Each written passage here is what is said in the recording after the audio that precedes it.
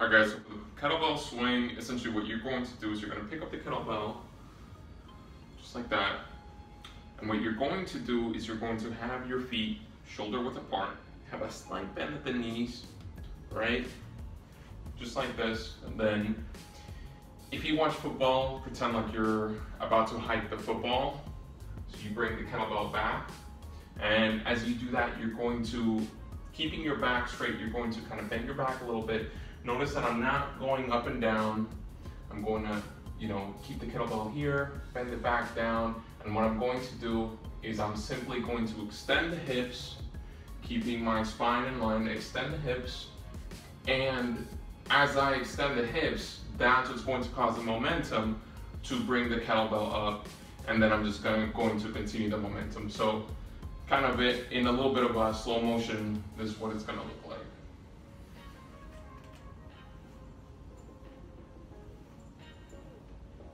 And as I'm doing that, once again, um, I'm trying to keep my back as straight as possible.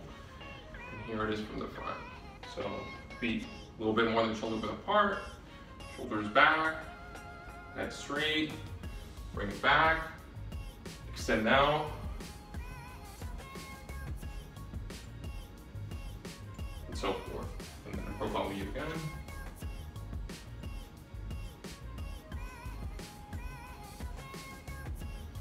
And so a lot of common mistakes that people make when they're first starting out with the kettlebell swing is that they, you know, they try to go too fast or they use a weight that's way too heavy, which causes them to, you know, really put a lot of pressure in their back. Um, so the kettlebell acts as a counterweight. And if you have too much weight on your counterweight, you're going to really get a lot of strain on your back um, and on your legs and whatnot. So start off light, start off slow, and make sure that it's a it's a controlled movement. And once you get the hang of it, you're gonna be able to have a lot of fun. And you're gonna be able to burn a ton of calories. Um, another thing about the kettlebell swing is that it works the hips and it works, you know, the glutes, it works the hamstrings, it stabilizes the core, it burns a ton of calories. And one of the most important things about it is that it engages a lot of the hip muscles that are usually inactive throughout, you know, throughout a person's day because you know in, in modern society we really don't use you know the, the, the hip muscles that much. We spend you know some people eight ten hours a day sitting down in an office chair.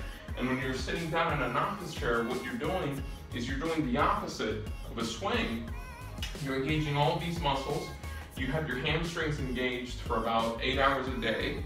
Uh, you know you have your hip flexors engaged for about eight hours a day as well and this causes a big imbalance, and that's why you see a lot of people, they're walking around, and as they get older, they really can't even, you know, extend the hips out. Uh, you know, or it costs them a lot, and that's not correct posture. You know, that may end up, uh, you know, causing a condition called lordosis, which is essentially just that. Um, so once again, excellent exercise is one of the foundations of a lot of the kettlebell movements. Um, you know, so I highly recommend you go and you give it a shot.